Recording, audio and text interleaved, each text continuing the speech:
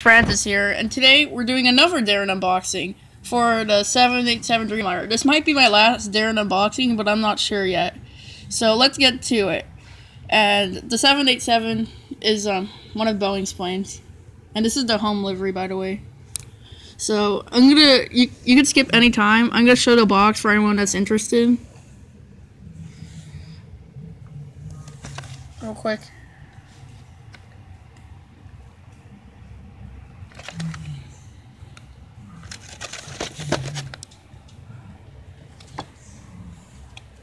And here's the back side. Pause anytime, like I said. And it's also Boeing officially licensed, but they added two things for some reason, which is kind of funny.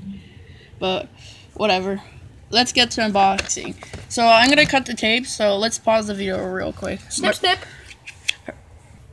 Alright guys, my brother's holding the camera right now. I'll take it out. And I'll be and then guys you, let me tell you again, like for the previous videos, be very careful or will scratch the metal when you cut the, the wire parts. So be careful. Alright, you can pause the video. Are you doing? Yeah. Okay. Uh,